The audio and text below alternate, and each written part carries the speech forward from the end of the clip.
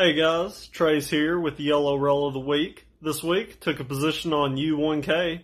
Took the position based on the hype of U1 the day before. Placed a market order for the next day. Filled at $7.11. Then folks, it was downhill from there. Ended up selling out at about 388. Took about $33 loss. Not what I was planning to do. Next day, rose up a little bit, not too much. Went about to 410, so still wouldn't have made any money. Still would have lost quite a bit. So that's about where I got out and ended up losing. So, tune in next week to see if I'm still filming here or if I'm homeless from my gambles. And remember, buy stocks, smoke meat.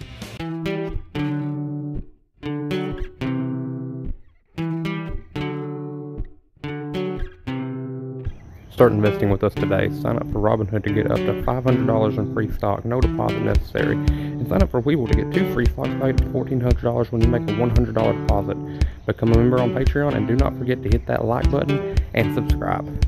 Thank you.